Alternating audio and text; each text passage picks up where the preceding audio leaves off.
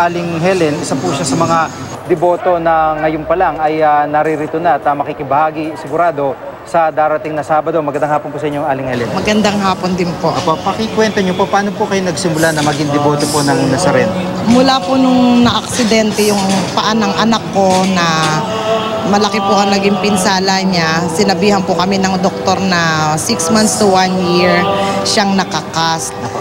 Nagkataon po no na malapit na ang piyesta ng Quiapo, hiningi ko po talaga sa senior yon. Sa awa po ng Diyos, natatanggal ang cast niya mag ngayon pong ganitong petsa, January, January 7.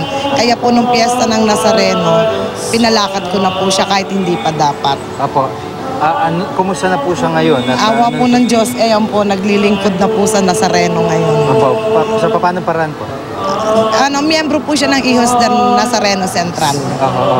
So, yung dahil ho doon sa pangyayaring yun, para sa inyo, tinuturo niyo ba yung milagro, yung napakabilis sa opo. pagaling? Kasi po, sa dami naman ng ng araw na, ma, na, na, na, na safe kami, malaking bagay po sa amin yon At mula po naman noon, talagang lahat po kami ng mga anak ko, naglingkod po talaga sa Panginoon. Apo, maliban ho dito sa tinuturing yung milagro nito, a- ano yung usual na kailingan nyo pag ganito mga araw po na kapistahan? Usually po, hindi naman, sa, kami po sa amin, ng mga anak ko, wala na po kami pwedeng hingiin sa Panginoon, kundi mali, ma, magkaroon lang kami ng malusog na katawan, wag lang magkakasakit ang mga anak ko, Apa. para sa ibang tao naman po. Kagaya ngayon, meron po kaming kaibigan na isang yumao, ang isa naman, eh, may sakit po. Apo. At ah, sa darating na Sabado, diretso kayo dito sa... Opo. Apo. Manggagaling po kami ng Luneta bukas. Apo, mimisa muna doon, tapos Apo. diretso. Apo. Salamat po. Aling, Maraming ah, salamat Helen. din. Si Aling Helen Alagos sa po sa mga deboto na ngayon pa lang ay ah, naghahanda na po dito o dumadalo sa misa at iba pa mga aktibidad dito para po sa upisahan ng itim na Nazareno. Kasama din po natin dito si Police Chief Inspector John Giagi.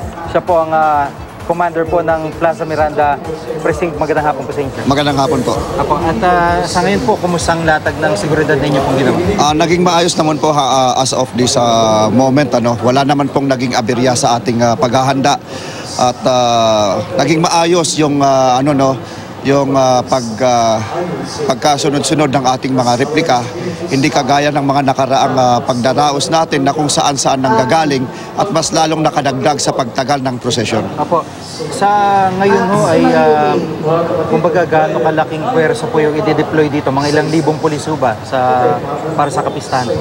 Para sa kapistahan po sa January 9, ah, ang ah, kabuuan po na ah, i- ilalatag ng ating kapulisan ay hig- higit apat na libo ano ah, doble kaysa sa nakaraang taong.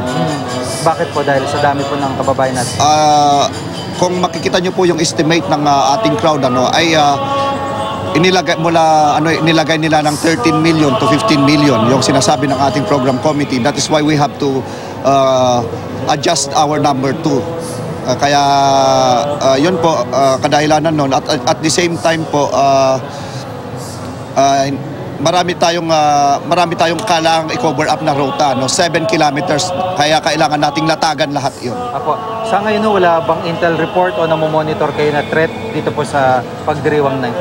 wala naman po tayong ah, klaro o direktang ah, pagbabantas para sa paggugulo ng panggugulo ng ating prosesyon ano but ga- sa sabi nga natin ano hand- ah, naghahanda pa rin ang ating kapulisan at ginagawa lahat ang ah, makakaya para maiwasan ang anumang ah, panggugulo. Apo, bilang paalala po at ah, ano po ang paalala niyo sa mga kababayan natin na dadala ho dito sa Sabado, gayon din po yung dadala sa Quirino Grandson bukas.